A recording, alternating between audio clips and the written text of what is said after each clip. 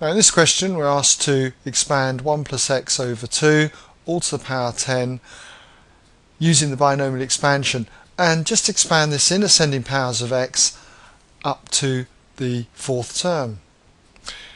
So how are we going to do this? Well hopefully you know the binomial expansion but what I've done here is just put it on the bottom here for you just to remind you.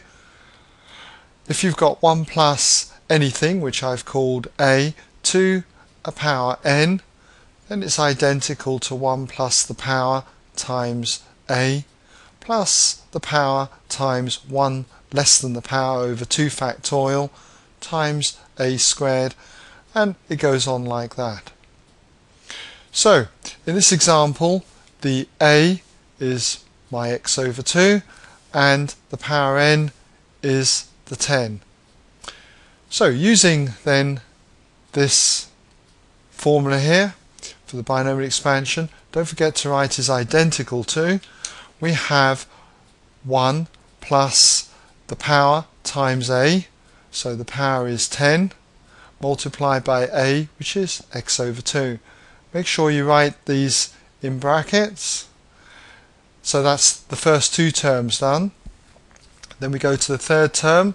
So it is the power, n, which is 10, multiplied by 1 less than the power, so that's 9, over 2 factorial. 2 factorial, remember, is 2 times 1, so I always like writing that in full as 2 times 1. And then it is a squared, a being the x over 2, so we have x over 2 all squared. So that's the first three terms. Now we come on to the fourth term. So it is n, which is 10. Reduce the power by 1, that's 9. Reduce it by another 1, so that's 8 over 3 factorial. That's 3 times 2 times 1 times the a value cubed. So that's x over 2 all cubed. Don't forget to write plus and so on, even though we just want the first four terms. Right then, all we need to do now is just clean these terms up. What I'll do is I'll remove the formula. Alright, so all we need to do then, as I say, is just clean this up. You can either just use your calculator or I prefer to do a combination of two actually, just see if I can cancel anything. So we'll take the first term, it's clearly 1. Next term is 10x over 2, or you could cancel the 2 into the 10. That goes 5 times. So you're just going to have 1 plus 5x.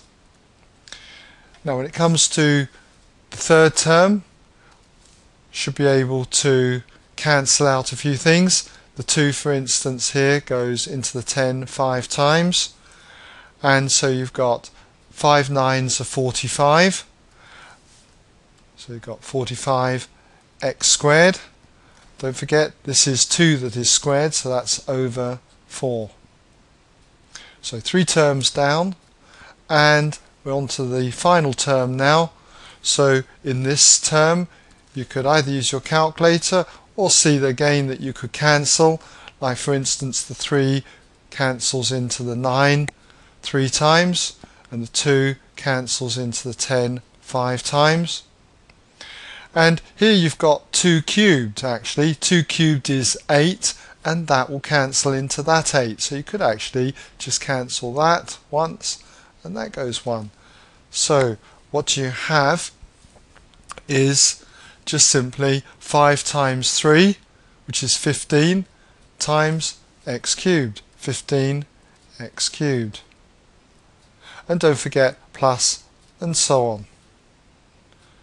And there you have the first four terms in the expansion of 1 plus x over 2 all to the power 10.